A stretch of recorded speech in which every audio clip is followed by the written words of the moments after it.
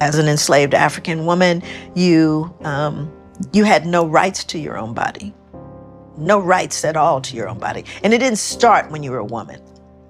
You know, that's the other kind of mythology when we talk about rapes. We're thinking about women. You think they waited till they were 18?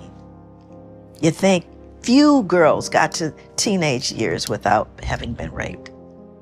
To imagine being a mother.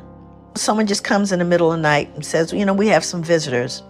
They like young ones. So we're going to pass her along to the visitors that night. So you can't wrap your head around that. And we want to really believe that, well, that just happened a couple of times. Well, according to a mid 1800s census, there are over 600,000 mixed race babies born. That's a lot of sneaking out back.